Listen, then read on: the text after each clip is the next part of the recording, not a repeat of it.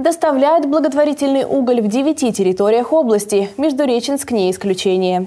Всего в этом году поддержку получат 14 тысяч семей, в том числе ветераны-горняки.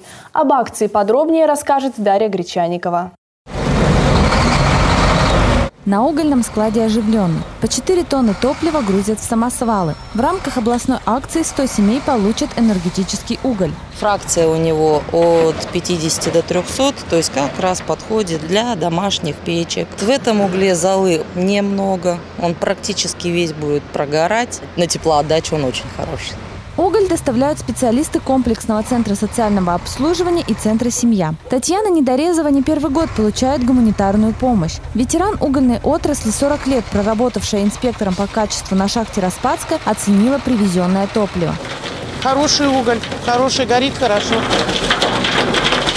Баня и дом отапливать на ползимы хватит. Пенсия очень маленькая, э, даже прожиточного минимума нету, и купить мне его не на что.